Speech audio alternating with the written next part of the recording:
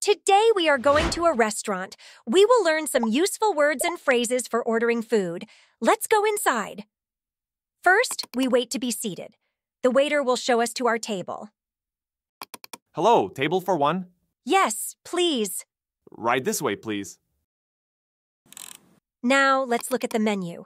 We can see the appetizers, main courses, and desserts. I think I'll have a salad, fried chicken, and ice cream.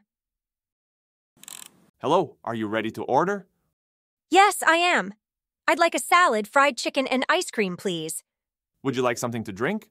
Yes, a glass of water, please. Sure, your order will be ready soon. Thank you. Now, the food is here. Let's eat. This salad is very fresh. Now let's try the fried chicken.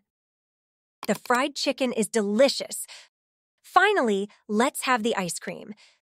The ice cream is sweet and creamy. After we finish eating, we need to pay the bill.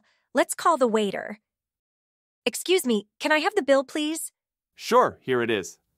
The total is $20. Here you go. Thank you very much. Have a nice day. Thank you. You too. And that's it.